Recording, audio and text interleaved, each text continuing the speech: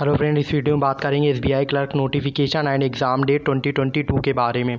तो सबसे पहले मैं बता दूँ कि एसबीआई क्लर्क का जो नोटिफिकेशन है वो आपको जुलाई एंड तक देखने को मिल जाएगा। जुलाई एंड तक बात करें, यानी कि इकतीस जुलाई तक आपको नोटिफिकेशन देखने को मिल जाएगा। आज भी आ सकता है, कल भी आ सकता है नोटिफिकेशन। अभी से जुलाई एंड तक आपको कभी भी देखने को मिल जाएगा। और बात करें एग्ज़ाम डेट की तो इक्कीस सेप्टेम्बर से आपके एग्ज़ाम होने वाले हैं। इक्कीस सेप्टेम्बर से आपके प्री के एग्ज़ाम है और मेंस के एग्ज़ाम की बात करें तो मेंस एग्ज़ाम आपका नवंबर में एक्सपेक्टेड है।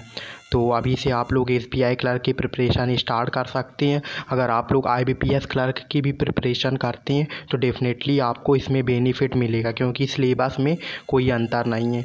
और बात करें I B P S clerk का जो मीन्स है, वो आठ अक्टूबर को एक्सपेक्टेड है, लेकिन इसका रिज़ल्ट अप्रैल, एक अप्रैल को आएगा, लेकिन S B I clerk mains का जो रिज़ल्ट है, वो उससे पहले आ जाएगा।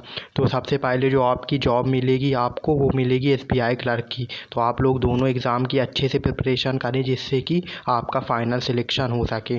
और जो S B I clerk pre का एग्ज़ाम है वो आपका इक्कीस सितंबर से एक्सपेक्टेड है। इक्कीस के ट्वेंटी वन के बाद आपका नेक्स्ट वीक में भी एग्ज़ाम होगा। सो so, अगर आपको वीडियो अच्छी लगी हो तो वीडियो को लाइक करें और चैनल को सब्सक्राइब करना ना भूलें। Thank you